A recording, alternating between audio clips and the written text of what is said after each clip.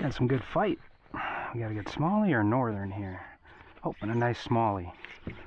But the way he's staying down, I'm thinking we got a decent northern. Oof, boy, he is taking the drag. I think we got a nice northern. Boy, you hit that hard. Oh, this is a tank of a smallmouth. Wow.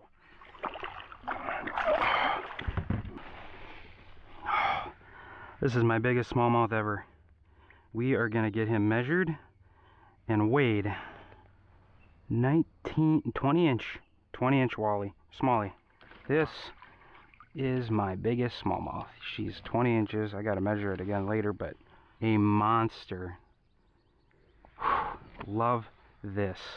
You do not get better than this. And this is why I got up early this morning. Wow.